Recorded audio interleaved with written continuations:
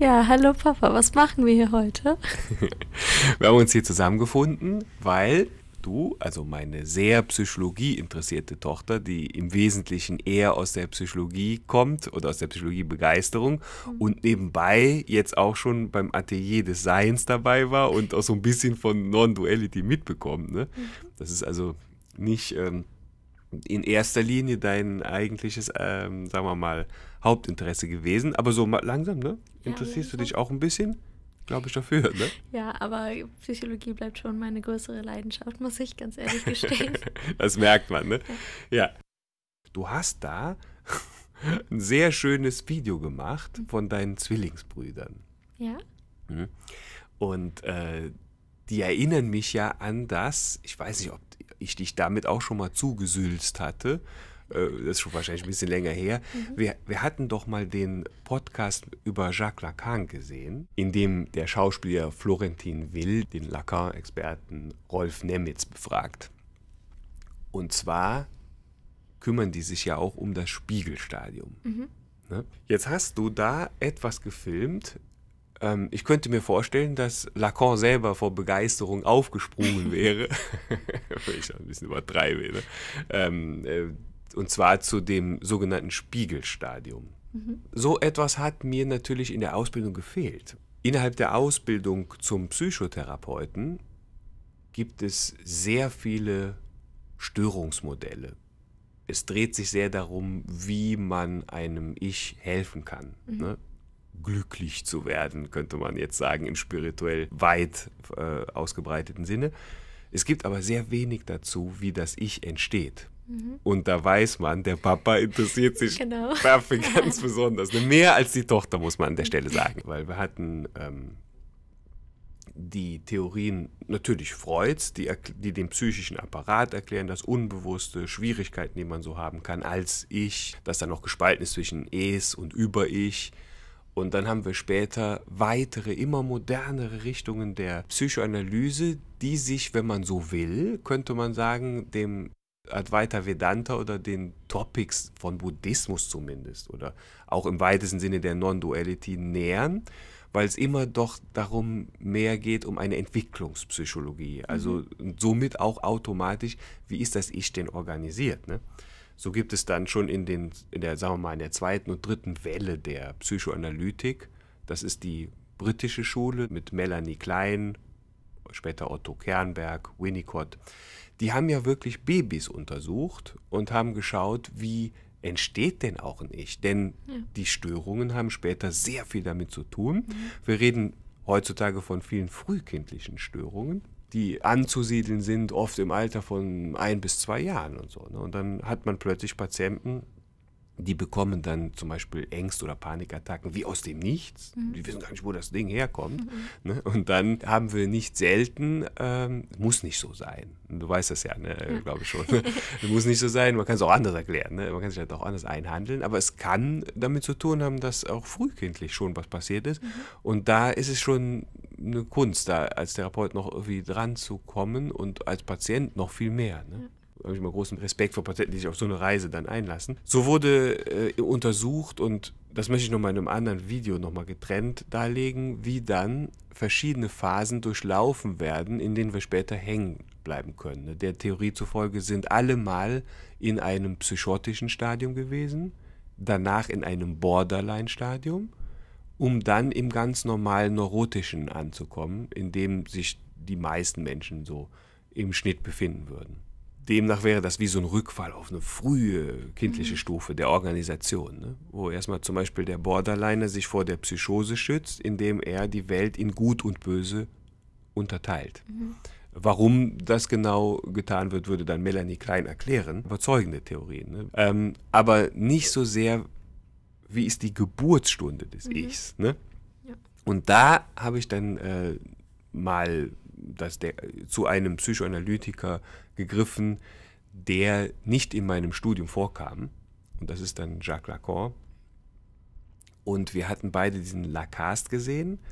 Ähm, gehört. Gehört, genau, gehört. Und da passen deine Videos gerade wie angegossen. die du da gefilmt Ja, hast. Ne? Mensch.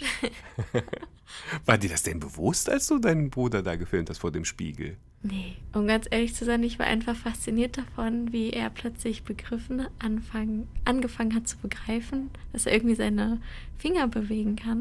Und Das wow. fand ich einfach äh, sehr schön einfach. Ja. Deswegen Wollte bin ich ich- unbedingt festhalten. Deswegen bin ich so fasziniert von deinem Video, weil ich war ja völlig baff. Du hast mir das mal so nebenbei Ja, auf einmal ja, geschickt, genau. guck mal hier, ne? Was man merkt. Und ich glaube, das wär, werdet ihr Zuschauer auch merken.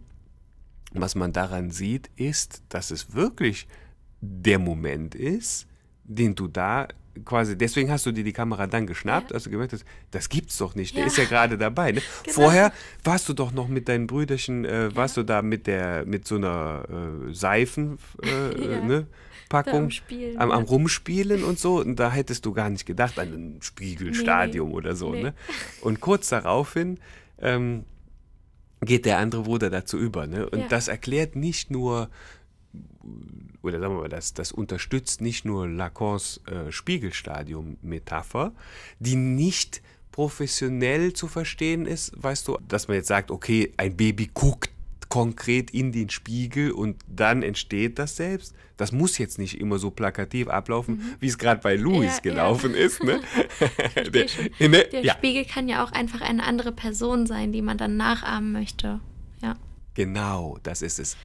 Wow, du hast aber doch sehr gut zugehört. Ne? Ja, das ist das, was Jacques Lacan, ich hätte es besser nicht sagen können, das ist das, was er meint. Ne? Dass äh, quasi eine andere Person, äh, die anderen Personen, die so ähnlich sind wie das Kind, ähm, quasi äh, gesehen werden und sich dann darin spiegeln. Dadurch entsteht neben dem subjektiven Selbst das objektive Selbst, so kann man sagen. Das Spannende bei Lacan ist ja nun, dass es viele Erklärungen dafür gibt, wie das Ich sich aufrecht erhält, nämlich durch dieses höher, schneller, weiter. Mead bezeichnete das, glaube ich, auch als die Anpassung an den generalisierten anderen. Ja. die Anpassung an den generalisierten anderen. Hört, hört. Ich kann mir vorstellen, dass Lacan das auch so gesehen hat. An das Image quasi. Ne? Das Image, was man hat. Wir haben ja alle so in bestimmten gesellschaftlichen Epochen haben wir bestimmte Vorbilder, denen wir nacheifern, wo wir sagen, ich möchte so sein wie Michael Jackson oder Marilyn Monroe. Ne? Das wäre quasi der generalisierte andere. Das ist so eine Art Idealbild von vielen anderen, die man so kennengelernt hat. Und man macht, das Gehirn macht daraus wie so ein Durchschnitts-Optimalmensch. Ne? Das kennt man übrigens auch, wenn man viele Gesichter ineinander morpht. Dann, selbst wenn viele hässliche Gesichter dabei sind, werden die, wird der Durchschnitt dann unfassbar attraktiv aussehen. Das ist dann so ein generalisierter anderer. Ne? Aber selbst wenn man nur wenige Menschen kennen würde, man würde dann da irgendwo sich das Beste rausholen und würde sagen, ja, ich möchte dem nacheifern. Ne? Und das ist, äh, nennt Lacan das Imaginäre. Das ist bildlich irgendwie angeleitet, weil man weniger einem abstrakten Ideal nacheifert, als eher einem Bild, was man davon hat. Und das Bild ist nicht das Bild, was man vom Inneren eines Menschen hat, sondern von dem, wie es von außen aussieht. Und hier kommt das Spannende dann zustande. Das subjektive Selbst ist nicht etwas einheitlich Empfundenes, sondern das ist eine wabbernde Masse von Eindrücken. Ähm, Das heißt, ein Baby ist mal die Lampe, dann ist es mal ein Stoff, dann ist es Stofffühlen. Viele non-duale Sprecher sagen, Reden geschieht, es erscheint, aber man weiß nicht, was das ist. Das ist nicht so mit klar getrennten Objekten, hier bin ich und da spiele ich jetzt mit etwas anderem, wie diesem Spielzeug da. Und ich möchte das jetzt haben, weil der andere das hat oder so, sondern eher noch dieses vorsprachlich eben. ne? Wir haben keine Worte dafür. So, ne? Es ist also ein, ein, ähm, vielleicht kann man sich das so ein bisschen vorstellen, wie wenn man auf einem starken, so stelle ich mir das vor, ich habe es nicht gemacht, aber auf einem starken halluzinogenen Trip ist und dann irgendwie man plötzlich sich fühlt, als wäre man selber rote Farbe, quasi, die sich ergießt über den Raum oder so etwas. Ne? Das ist also das subjektive Selbst, was schon immer ein chaotisches Etwas war, wo kein Einzelwesen drin zu, festzustellen ist. Aber nicht im Sinne von Einheit, schön harmonisch, das ist so, wie sich das Ego das vorstellen würde, wir kämen aus so einer harmonischen Einheit, wo wir irgendwie als gefestigtes, einheitlicher Kosmos irgendwie auf alles hier blicken oder so, mhm. sondern mehr so ein, ich weiß überhaupt nicht, what the, äh, ich habe keinen Peil, ähm, man ist irgendwie, äh, mal ist man selber Zeit, dann ist man selber eine Pfütze, so vielleicht. Mhm. Ne? Dann, also was sehr Wirres, wo man sagen würde, für einen Erwachsenen klingt das nach einer Psychose, so mhm. ungefähr dieser Babyzustand. Ne? Mhm. Nur das Baby hat mit der, sagen wir mal so, das Baby hat mit seiner Psychose überhaupt keine Probleme. Das ist ganz natürlich. Es kennt ja noch kein Ich sozusagen. Genau. Und dennoch ist man so fasziniert von der Psychose, die man quasi bei dem Kind dann beobachten kann. Genau. Das ist ja auch wieder was sehr Faszinierendes. Das ist völlig faszinierend. Ja. Also da stört das niemanden, wenn ein Baby psychotisch ist. Das darf sich das noch erlauben. So, das darf, das Baby darf verrückt sein.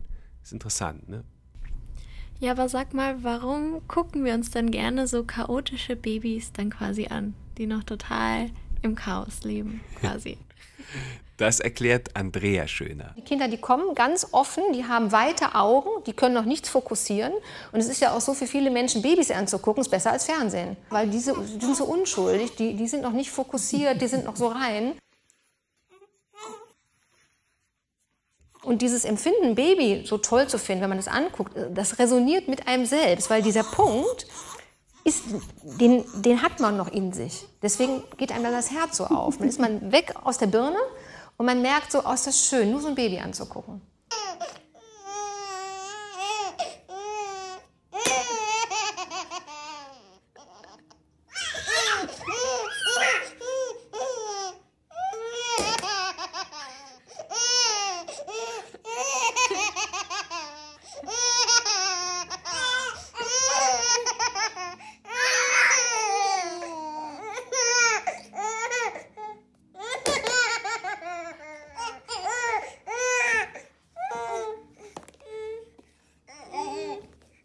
Wir auf die Welt kommen als Babys, keiner hat die Erinnerung daran, wie es war, ein Baby zu sein. Ja, man ist geboren und die erste Erinnerung ist in der Regel ab anderthalb, zwei Jahre. Wie kommt denn das? Weil das nämlich dann die Ich-Geburt ist. Ja? Irgendwann identifiziert das Kind sich mit sich selbst. Es erkennt sich im Spiegel und sagt irgendwann Ich. Weil es das gesehen hat von Mama und Papa, das wird vorgelebt, man kriegt das beigebracht. Erst redet das Kind in der dritten Person, Andrea hat Hunger, Andrea, was weiß ich was, und irgendwann, ach so, ich bin das, ich hier. Und dann geht's los. Mit dieser Ich-Geburt kann man dann verlieren, man kann gewinnen, man will was haben, man will was nicht. Und so fängt das ja an.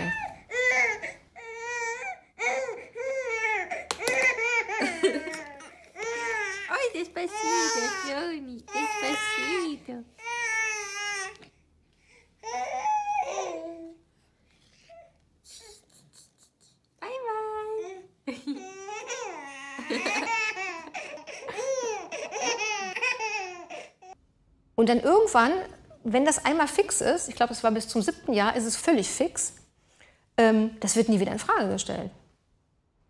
Dann sieht das Baby aber mit der Zeit, ja gut, das Nervensystem verbindet sich. Wir wissen nicht, wie das ist. Es ist ein völliges Mysterium, warum und wie das jetzt genau geschieht. Irgendwie äh, wird das Baby kohärenter, beginnt plötzlich die Motorik besser steuern zu können, guckt das irgendwie von anderen ab oder so, via Imitation oder sonst wie.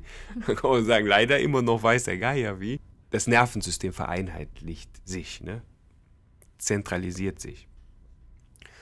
Und in dem Zuge wird dem Baby allmählich bewusst, auch dafür haben wir keine Erklärungen, auch Lacan liefert dafür keine Erklärung, da wird dem Baby mit der Zeit ja bewusst, dass die anderen Wesen, die so ähnlich sind wie es selbst, dass diese von außen betrachtet, kohärent, nicht verrückt, prinzipiengeleitet irgendwie wirken. Mhm. Man sieht, die Mama bringt immer wieder die Milch. Das mhm. ist ein geordnetes Vorgehen, wo, wo, das Baby sehen kann, ah, die Mama ist jetzt nicht so durch den Wind wie ich vielleicht mhm. oder so, sondern die ist irgendwie ganz aufgeräumt die bringt mich dann immer ins Bett, wenn es gut läuft. Ne? Wenn es gut läuft, muss man dazu sagen. Ne? Dann würde man sagen, dann kann ein gesundes Ich entstehen äh, durch Rituale, durch Wiederholungen, durch vor allen Dingen viel liebevolle, wiederholte Rituale und so. Und dann sieht es plötzlich, beginnt es die Mutter zu idealisieren, was gut und wichtig ist. Ne? Die Idealisierbarkeit einer Mutter beschreibt Kohut als essentiell.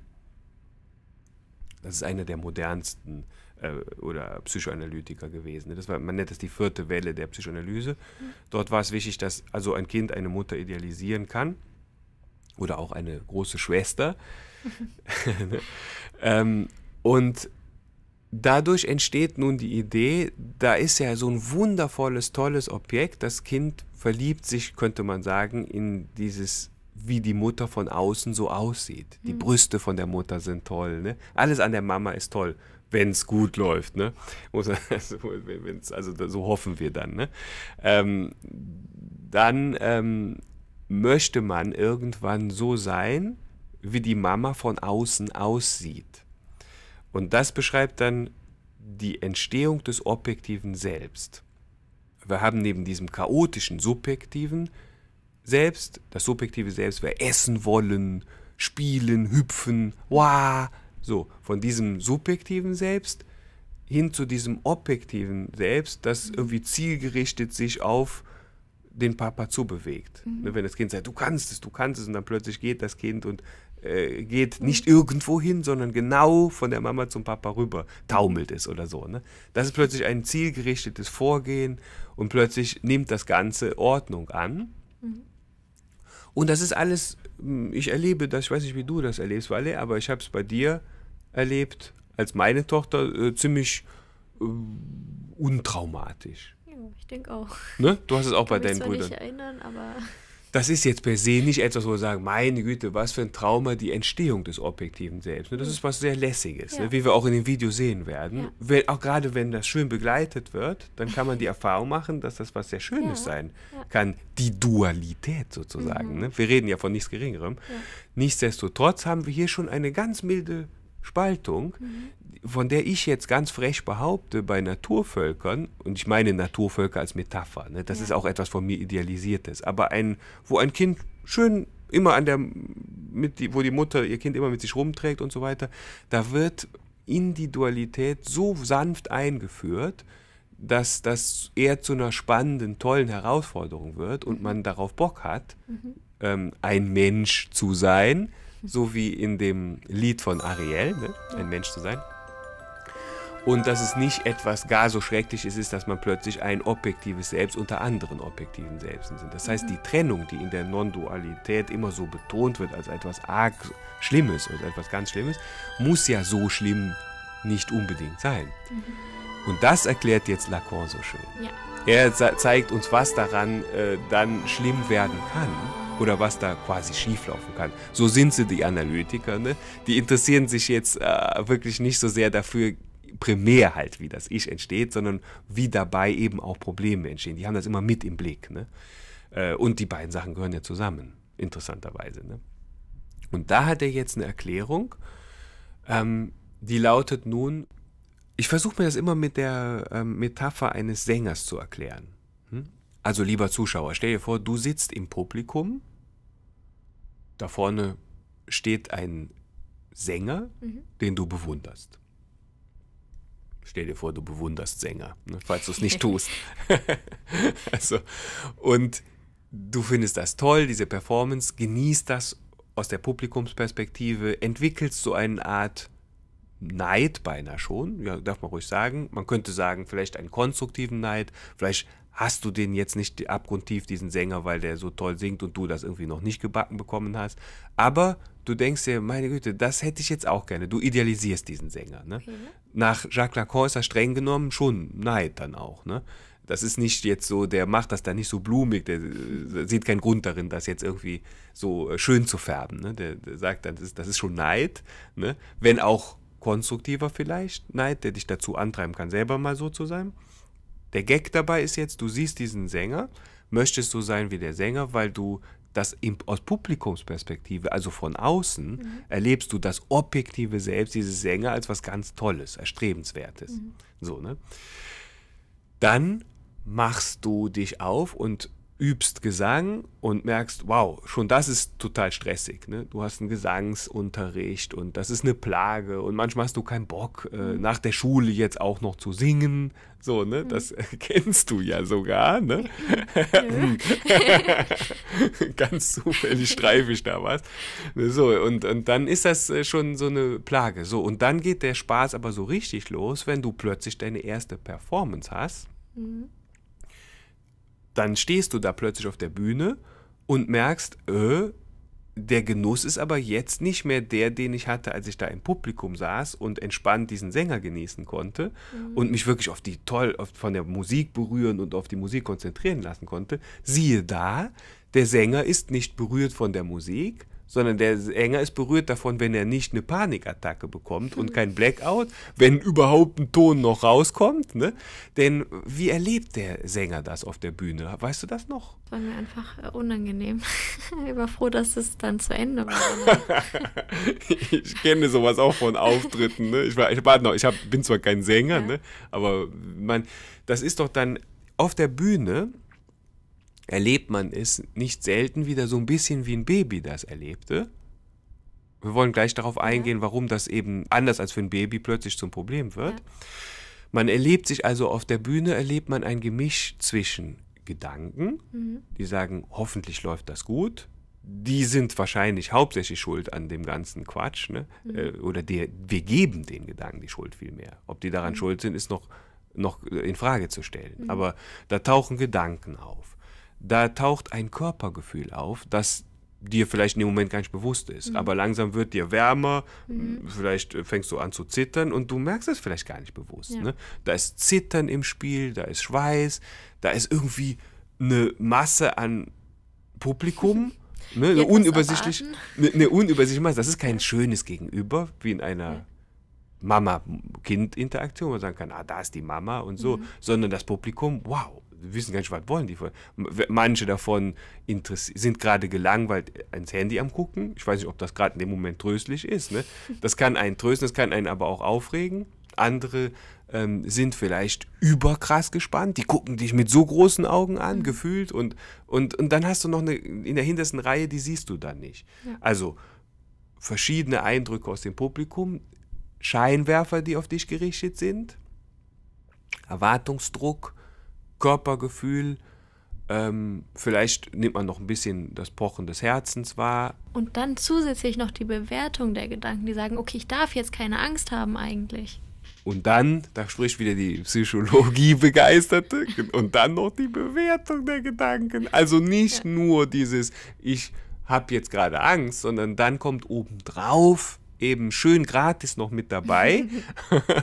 ich darf jetzt eigentlich gar nicht. Jetzt kann ich das bitte nicht gebrauchen, solche Gedanken. Ne? Die, die sind jetzt unwillkommen. Ne? Also all diese Dinge. Und das ist also ein Riesenchaos. Das, und dieses Chaos könnte man sagen, ist jetzt das subjektive Selbst. Mhm. Das ist ja, hat sich ja nicht verabschiedet mit mhm. dem objektiven Selbst, auch wenn der Erwachsene sich das so oft wünscht. Ja. beknackt. Und das Baby das eben zuvor in den Eltern sieht, dass sie eigentlich ein sehr gesammeltes, objektives Wesen sind. So. Ne? Und was du dann erlebst, das könnte man sagen, ist sowas wie das Urleid. So kann man, nach Lacan kann man das sehr gut erklären. An der Stelle, wo du dann auf der Bühne stehst, bist verschwitzt und denkst dir, oh, so habe ich mir das nicht vorgestellt, das erklärt das Begehren danach, endlich das zu erreichen, wie der andere von außen aussieht. Und bevor hier Missverständnisse entstehen, in dem Moment geht es eben nicht nur darum, sage ich mal, jemanden einem Ideal hinterherzustreben, wo jemand intelligenter, schöner, erfolgreicher oder sowas wirkt, sondern man hat den sehr bescheiden wirkenden Wunsch, einfach nur nicht verrückt zu wirken. Mhm. Ne? Einfach wie jemand zu wirken, so wie die von außen aussehen. Ja. Das heißt, ich beneide mein Gegenüber alleine darum, und jetzt wird es für manche ein bisschen, das kann freakig wirken, ne? du beneidest dein Gegenüber darum, ein Mensch zu sein. Wahnsinn. Wahnsinn, ne? Ja. Du beneidest nicht dein Gegenüber, weil er in der Börse besonders erfolgreich war oder eine mehr Kinder hat als du. Oder so, ne? Sondern du beneidest den, weil er jemand ist. Und Mhm. du Jemand Geordnetes. Jemand Geordnetes. Ne? Ich sage auch im Studio, wie so Kabelkanäle, da fliegen die Kabel nicht rum, sondern schön geordnet. Und auch unsere Organe, Leber, Milz und so, sind schön geordnet, schön integriert in diesen Körper und hängen nicht hässlich da rum. In Zombie-Filmen hängt ja die Leber da hässlich da raus. Ne? Das sieht man aber nicht so gerne. Ne? das wirkt dann ungeordnet. Ne? Unser subjektives Selbst bleibt aber die ganze Zeit als Chaossuppe nebenher noch bestehen. Das heißt, wir sind nicht dieses geordnete Selbst, sondern wir sind so ein chaotisches Etwas, wie man auf der Bühne spätestens Holzhammermäßig merkt, da merkt man plötzlich, bist du so wie dieser Sänger, was du dir vorgestellt hast, oder ist das nicht irgendwie jetzt anders? So, da, das ist ein sehr eindrucksvolles Beispiel, wo man das merkt. Und viele haben Redeangst und so, ne? Und äh, denen ist vielleicht auch nicht bewusst, dass diese Diskrepanz auf ein leidvolles Maß deutlich werden kann, dass man da anders ist. Leidvoll ist also in diesem Sinne weder das chaotische subjektive Selbst, wie das ein Baby erlebt, oder wie das ein gut Trippender auf LSD erlebt, der damit, der sich gut darauf einlassen kann. Das ist also per se nicht leidvoll, in einer Chaossuppe sich zu befinden, voller chaotischer, crazy Eindrücke. Ne? Hippies haben das genossen. Leidvoll ist es auch nicht, ein sehr gut geordnetes, beinahe zwanghaftes Leben als objektives Selbst zu führen, in dem alles geritzt ist und schön läuft. Leidvoll, und deswegen habe ich dieses Moment genommen mit dem auf der Bühne stehen, leidvoll ist der Moment, wenn du entdeckst, ups, ich habe eine Diskrepanz. Ich möchte eigentlich so wirken, wie der andere aussieht oder wie ich den von außen wahrnehme. Und ich möchte selber dieses sogenannte objektive Selbst erfüllen und kann es nicht. Autsch. Ne? Wenn das passiert, das ist dann ein Problem.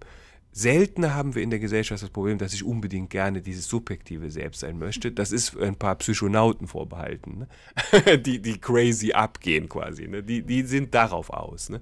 Aber die meisten Menschen hier in der Gesellschaft, um das jetzt abzurunden, leiden also darunter, unter dem psychologischen Urproblem, die möchten kohärent wirken, die möchten ne, verstehbar, berechenbar und nicht crazy. Also verrückt auf andere zu wirken, ist eine der schlimmsten Sachen, die dir widerfahren können in, der, in dieser Gesellschaft. Ne? Und die Gesellschaft fängt das auch so gar nicht gut auf, leider. Wir haben immer noch keine Gesellschaft, die das wirklich integriert oder so, sondern wir haben ähm, eine psychopharmakalastige ähm, Psychiatriegesellschaft. Das ist keine Kritik, also die Kliniken werden immer besser und dann hat man wirklich Fortschritte im Verständnis, wir verstehen ja auch mehr über Psychologie, aber es ist so, dass die sogenannte präpsychotische Angst, das ist die Angst, chaotisch und eben nicht äh, normal äh, zu wirken oder zu sein, dass diese präpsychotische Angst sehr stark ähm, in der Gesellschaft gefördert wird quasi. Und so stark, dass eine der stärksten Manipulationstechniken die ist, dass man dir sagt, wer A sagt, muss auch B sagen. Ne? Man äh, versucht an dein Kohärenzempfinden zu appellieren. Sei nicht ein chaotisches Baby, sondern sei eine erwachsene Frau, die jetzt zu ihren Konsequenzen steht. Das hört sich erstmal ganz normal an. Ist aber ziemlich giftig, ne? Ist nicht ohne, wenn man dir sagt, wer A sagt, muss auch B sagen, komm, du musst auch jetzt bitte schön Wenn konsequent. man eigentlich gar kein, eigentlich gar nicht so ein Wesen ist. wenn man gar nicht vielleicht so Wesen ist oder wenn du in dem Moment gar nicht so drauf bist. Ne? Äh, Oder auch dieses, ähm, sei doch, äh, das bist nicht du selbst. So manipulieren dich andere. Ne? Du willst dich gerade verändern, du bist eigentlich ein chaotisches, total flexibles Viech, willst gerade was Tolles, Neues ausprobieren und dann kommen die Spielverderber, sind oft nicht weit entfernt, die vielleicht gar nicht wollen, dass du dich weiterentwickelst und dann stehen die auf der Matte mit, so kenne ich dich gar nicht, das bist ja nicht du selbst. Weißt du, die Andy, die ich kenne, ist unsterblich in Nate verknallt. Seit 16 Jahren weiß ich alles über diese Andy. Aber diese Person, dieser Laufstegwemp, der sich in den Ecken mit irgendwelchen heißen Modetypen rumdrückt, die verstehe ich nicht. Lilly, viel Spaß in Paris. Du fliegst nach Paris? Ne? Das heißt also, was heißt das bist nicht du selbst? Das heißt, du, das ist nicht so, wie ich dich in meinem als objektives Selbst Ja. quasi verinnerlicht habe. Du entsprichst gerade nicht meinem Ideal. Sei mal bitte so, wie ich dich sehe. Weißt du, da entstehen auch von außen die Probleme. Und der Äußere wiederum, dein Gegenüber wird dadurch gestresst, dass du für ihn nicht berechenbar Ja. bist. Ne? Ist das crazy, ne? so, ne? Und das ist dann die Urgeschichte. Und dann entsteht in zweiter Linie erst später, in, sagen wir mal, zunehmendem Verlauf des Erwachsenwerdens, wenn man sich sehr im objektiven Selbst quasi verfestigt, quasi sehr neurotisch draufkommt, dann kommt später etwas, ein, wie ein neues Spiel auf. Nicht, ich will jemand sein. Die kleinen Kinder wollen einfach nur irgendwas sein. Ich bin jetzt wohl Feuerwehrmann, ich bin jetzt Putzfrau. Die, sind, die wollen nichts Besonderes sein. ne? Die wollen einfach nur irgendwas sein. So wie Ariel. Ähm, später kommt noch hinzu, dass die Erwachsenen dann später bestimmte Bilder verfolgen. Das kommt aber erst später. Das ist nicht das Urleid, dass ich höher, schneller, weiter sein will, sondern es kommt dann noch als Begrenzung hinzu, dass man sich denkt, ja, also die Gesellschaft kommuniziert dir quasi, es ist nicht nur so, äh, dass du jemand sein sollst, jetzt bin ich endlich Psychotherapeut, jetzt bin ich wer, so quasi, sondern du sollst dann auch noch bestimmte Ideale erfüllen als Psychotherapeut zum Beispiel. Wie das ja aber auch bei Ariel zu sehen ist, die zu Beginn erstmal einfach ein Mensch sein möchte und plötzlich sagt, nee, ich möchte diesen Prinzen heiraten. So, ja wunderbar. Und dann bin ich glücklich. Erst dann bin ich Ja. glücklich, wenn ich diesen Prinzen heirate. Mich überrascht das gerade. Ich bin ja kein, also du kennst mich nicht als Ariel-Fan. Nee. Der ist mir jetzt, ist, die ist mir einfach spontan jetzt dazu eingefallen. Ne? Die passt da so gut. Ähm, ja, das ist dann erst das Zweite. Und dabei wird man davon abgelenkt, dass man selbst damit zufrieden wäre, eigentlich ein lausiger Versager zu sein. Ein Typ, der ein Whisky nach dem anderen säuft und da wie ein Schluck Wasser in der Kurve auf dem Bürgersteig hängt. Das wäre schon wenigstens etwas. Das ist für viele schwer zu verstehen. Für, ne? Ich bin immer wieder erstaunt, dass nur wenige dazu den Zugang haben, äh, vor der unbewussten Angst, überhaupt niemand zu sein. Und ich glaube, ihr lieben Non-Duality-Interessierten habt einen Zugang dazu. Ne? Also ich glaube, viele, die hier unterwegs sind auf meinem Channel, werden etwas damit anfangen können, mit dieser sogenannten existenziellen Angst, um die sich immer die Philosophen auch gekümmert haben und die Lacan ganz gut ähm, erklärt. Also letztlich zusammengefasst, die Urangst ist das Diskrepanzerleben zwischen dem objektiven Selbst, wie man es von außen sieht, und dem inneren Selbst, das irgendwie ganz anders aussieht und sich anfühlt wie das, was wir da außen sehen. Somit bleibt das Äußere quasi ein unerreichbares Ideal und das Ich hat richtig was zu tun. Ne? Und das Erste, woran das Ich denkt, ist jetzt nicht daran, sich aufzulösen wahrscheinlich, ne? sondern erstmal überhaupt richtig zu verkörpern. Es zu probieren zumindest. Es zu probieren zumindest, ne? Also probiert's. so, und jetzt lassen wir die ähm, Experten mal zu Wort kommen, die das nochmal anders erklären können. Ja? Viel Spaß.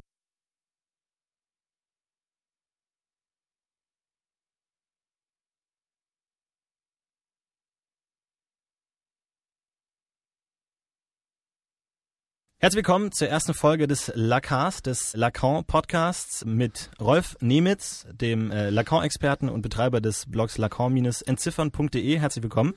Äh, Vielen Dank für die Einladung. Ja, immer gerne. Und mir, Florentin Will. Das hier ist ein Podcast rund um die Theorie vom Jacques Lacan. Er soll auch für Leute geeignet sein, die noch überhaupt gar keine Ahnung haben, wer Jacques Lacan ist, überhaupt was er gesagt hat oder was er mit überhaupt irgendwas zu tun hat. Deswegen kann ja auf jeden Fall jeder reinhören. Ganz kurz zusammengefasst, Jacques Lacan war ein französischer Psychoanalytiker. Das heißt, ja, es geht um Psychoanalyse, es geht um Unterbewusstsein, Traumdeutung, freudsche Versprecher, vieles, wovon äh, die meisten Menschen heutzutage sagen würden, dass es vergessen, überholt und äh, nicht mehr zeitgemäß ist. Lacan hat das Ganze in seiner Zeit so ein bisschen nochmal wieder aufgerollt, hat sich viel auf Freud bezogen, nur damit ihr ganz grob eine Ahnung habt, worum es heute geht.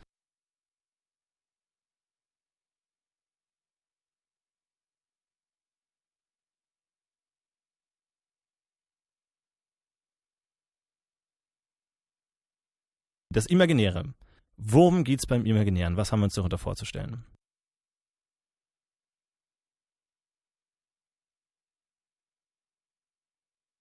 Unter dem Imaginären ähm, haben wir uns vorzustellen Bilder.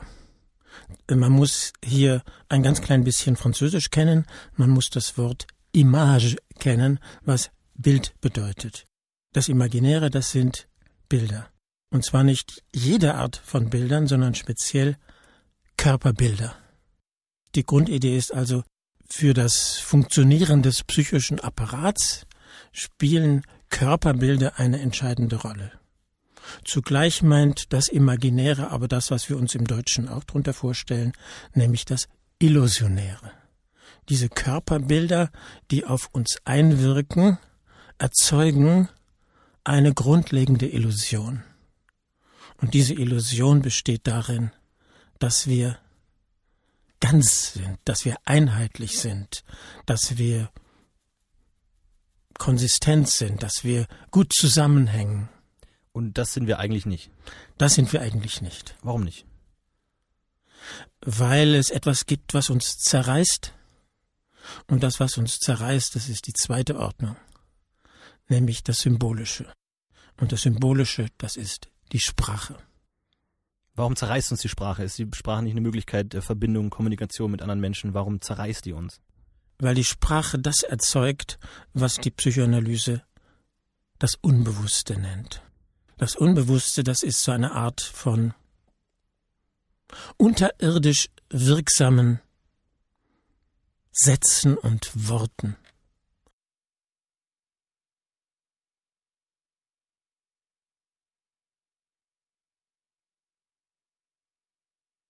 Okay, versuchen wir das Ganze mal an einem Beispiel festzumachen. Ähm, ich verbinde mit dem Imaginären und mit dem Bildhaften irgendwie immer eine Werbung. So ein großes Werbeplakat, so ein großes Transparent, vor dem man steht und was riesengroß ist. Ein gewisses einheitliches Bild. Es ist eine Einheit. Zum Beispiel, zum Beispiel für eine Werbung für Bier, wo eine Gruppe von Freunden sitzt auf einem äh, Dach und sehen sich gerade einen Sonnenuntergang auf, über den Dächern von Berlin an und trinken dieses Bier. Und das erzeugt dieses Gefühl, eines gewisses Lebensgefühl, was eine gewisse Einheit ist. Man hat Freunde, man, man ist irgendwie in einer gewissen Weise eine Grenzübertretung, man ist auf den Dächern unterwegs, man, man feiert die Nacht durch, man sieht den Sonnenuntergang. Man, man kann sich da ein gewisses einheitliches Bild setzen. Also dieses, dieses Bild erzeugt eigentlich nur noch eine Lücke, wo ich sagen, da möchte ich sein. Ich möchte Teil von diesem Bild sein. Ich sehe mich in diesem Bild drin. Damit kann ich mich identifizieren, damit kann ich sagen, das bin ich in diesem Bild da möchte ich sein. Kann man das ungefähr so verstehen oder ist es zu weit gegangen? Ja, es ist zu weit, aber man kann es ungefähr so sagen. Das Entscheidende am Imaginären ist, wie Sie das in dieser Geschichte beschrieben haben, dass wir uns auf die anderen Menschen als auf solche beziehen, die so ähnlich sind wie wir selbst. Das heißt, in denen wir uns spiegeln.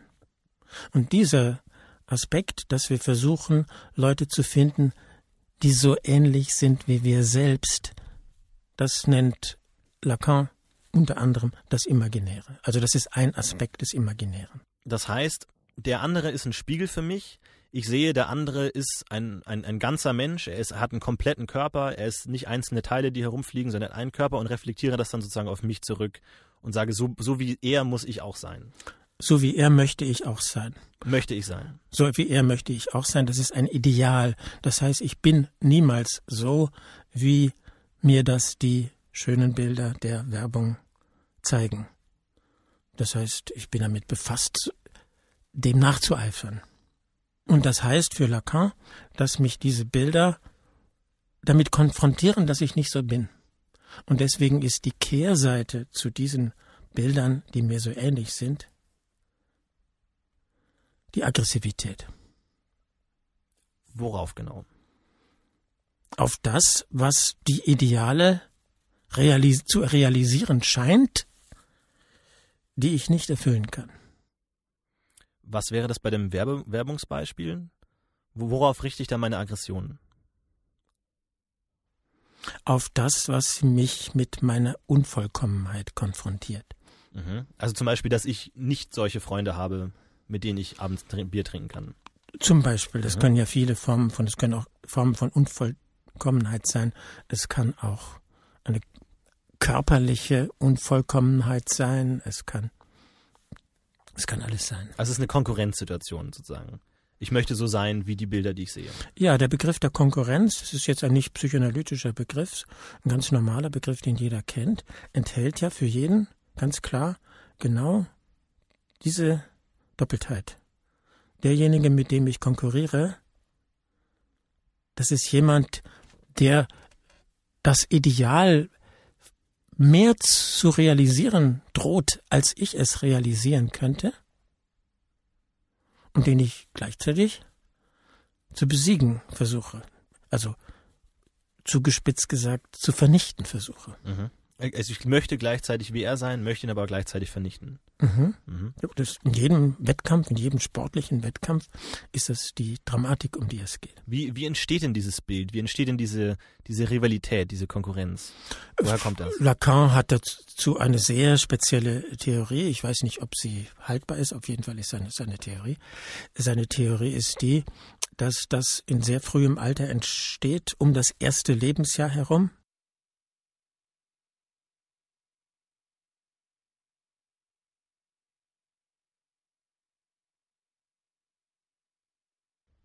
Und äh, beruft sich auf psychologische Studien, die gezeigt haben, dass ein kleines Kind in diesem Alter, wenn es sich selbst im Spiegel erblickt und schon in der Lage ist zu sehen, das bin ja ich, dass es dann in einen Jubel ausbricht. Es ist begeistert.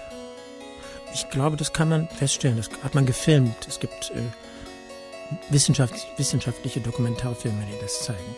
Und dazu gibt es dann eine These von Lacan. Das Kind ist deswegen begeistert, weil es körperlich noch unausgereift ist. Es ist, sein Gehirn ist noch nicht voll entwickelt. Seine Motorik ist noch nicht voll entwickelt. Es hat Mühe voranzukommen. Und in diesem Bild, sagt Lacan, antizipiert es, nimmt es vorweg wie das wäre, wenn es sich beherrschen könnte, wenn es seine Motorik im Griff hätte. Mhm. Also es sieht sozusagen sich als, als ein Ganzes an, als, als ein Mensch oder als ein, ein ganzheitliches Wesen, das irgendwie die ganzen Erfahrungen, die es davor schon gemacht hat, irgendwie bündelt. Und es kann sagen, das bin ich. Ja, ob es die Erfahrungen bündelt, das kann ich nicht sagen. Auf jeden Fall etwas, was seine das Ungenügen, was es empfindet, nicht empfindet.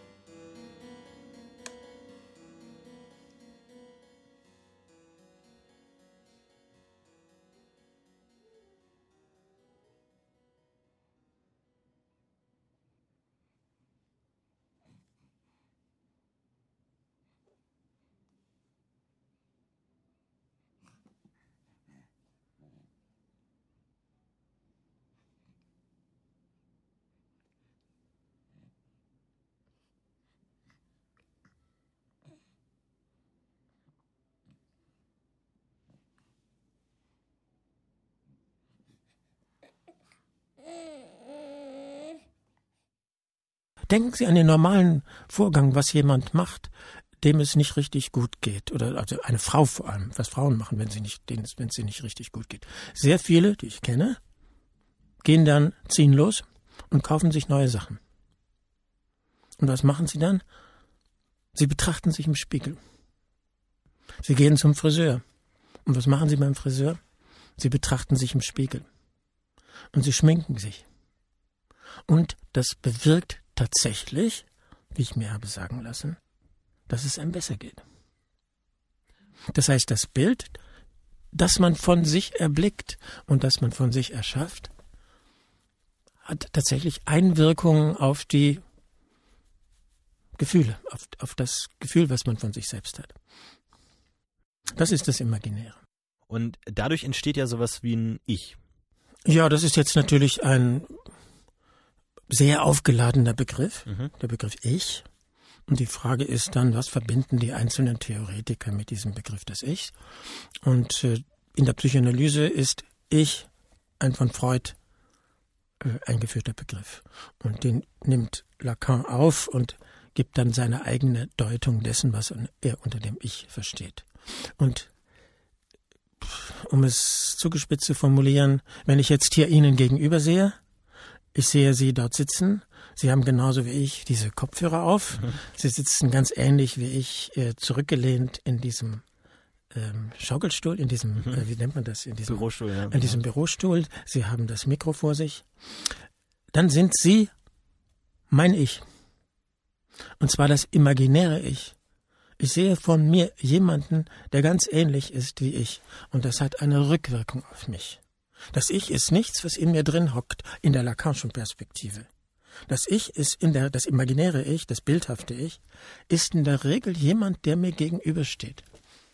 Oder mein Spiegelbild. Oder mein Spiegelbild, das ist die, das, was ich morgens früh beim Rasieren erblicke, das ist mein Ich. Und im Alltag, in der ganz, im ganz normalen Alltagsleben sind es die vielen Leute, die so ähnlich sind wie ich. Wenn ich die nicht, wenn ich diese Beziehung nicht hätte, ging es mir nicht gut.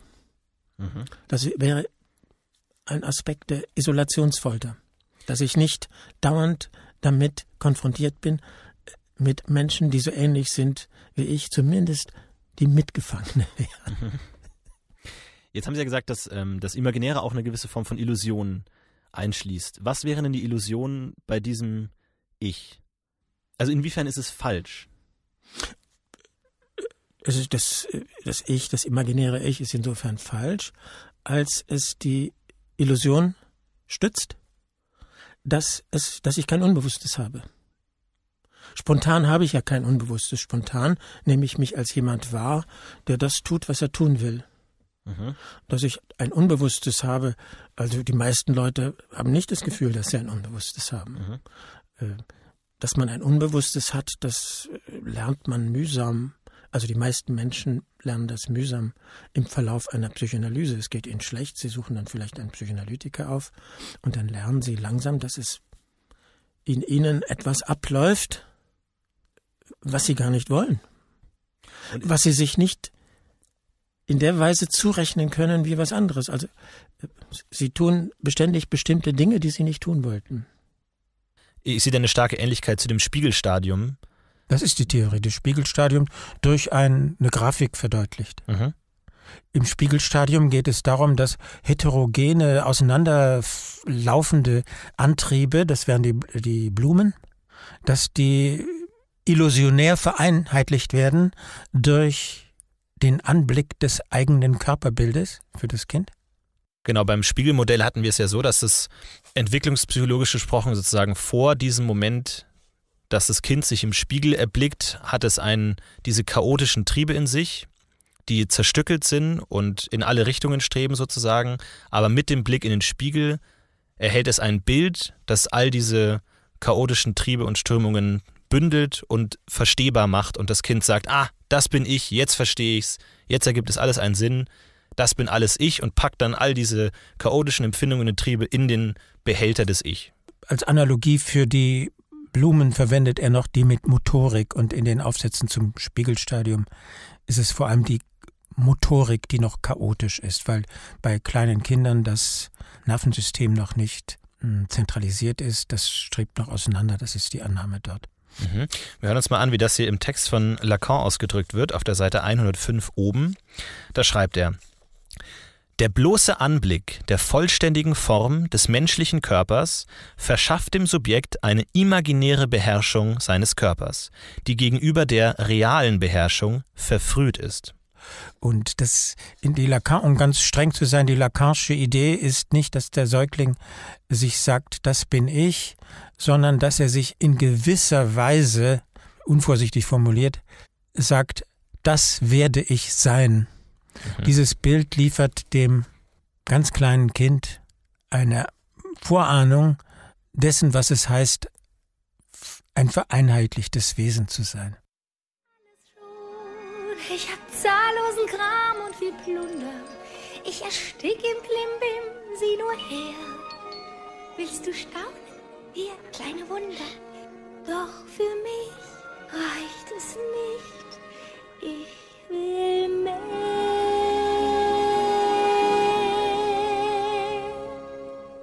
möchte fort bei den Menschen sein. Ich möchte sofort dort mit ihnen tanzen, möchte mich drehen und nennen die das? Ah, gehen. Flossen, die tragen nicht allzu weit, denn man braucht Beine zum Springen, tanzen, um zu spazieren und zu, wie heißt doch das Wort? Stehen. Dort ist man frei, dort ist man froh, dort scheint das Licht, der Mond, dort lebt man anders als hier. Drum wünsch ich mir, ein Mensch zu sein, mit Herz und Sinn zieht's mich dorthin, ich will's probieren. Ich möchte rauf, endlich hinauf an ihren Strand, will ihren Sand in meiner Hand, was man mir nur genannt selbst spüren. Ich will's wissen, endlich wissen, ich bin gespannt und sehr interessiert, was man oben weiß. Hab viele Fragen, möcht drauf Antwort. Was ist Feuer und wie ist es? Wie sagt man? Heiß, was ist der Preis? Ich zahl ihn gern, wär ich am Ziel, am Ziel dort oben. Heute und hier hm, wünsche ich mir ein Mensch zu sein.